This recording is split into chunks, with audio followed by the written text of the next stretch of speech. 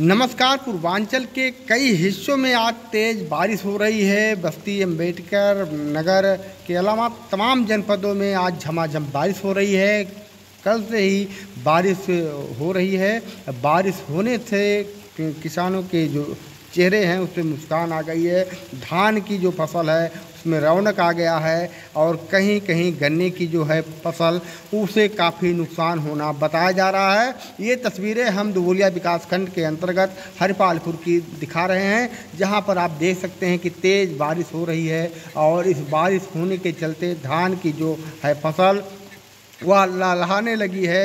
वहीं गन्ने की जो है फ़सल, वहाँ तमाम किसानों की गन्ने की फ़सल गिरने से उनका काफ़ी नुकसान होना बताया जा रहा है। तो ये तस्वीरें हम गाँव से लेकर हाजिर हैं। हम आपको अपने यूट्यूब चैनल के माध्यम से दिखा रहे हैं कि बारिश ग्रामीण इलाके में किस प्रकार से हो रही है। और इस बारिश से कहाँ पर फ़ायदा हुआ, कहाँ पर नुकसान हुआ है? तमाम गाँव की जो नालियाँ हैं, वो उपट गई हैं।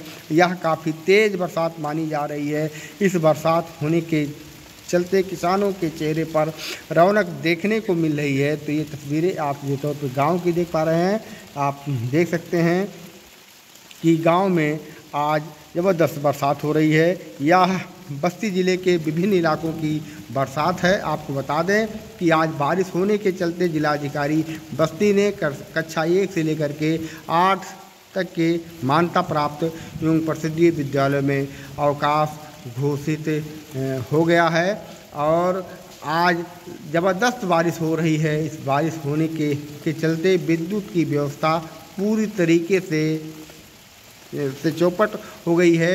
लोगों को कल से विद्युत की सप्लाई नहीं मिल पाई है तो इन तस्वीरों के माध्यम से आप गाँव की की खबरें को देख सकते हैं। और आप देख सकते हैं कि आपके इलाके में बारिश हो रही है कि नहीं हो रही है। आप कमेंट करके हमें ज़रूर बताइएगा कि आपके क्षेत्र में बारिश का आ, हाल क्या है। और फ़िलहाल माझा इलाके के लिए यह बारिश मुसीबत बन गई है जहाँ पर बाढ़ आई हुई थी और बाढ़ के जो क्षेत्र हैं वहाँ बारिश होने के, के चलते लोगों के जो जो पशु हैं, उनके लिए जो चारे की व्यवस्था है, उसके लिए काफ़ी परेशान होना पड़ रहा है।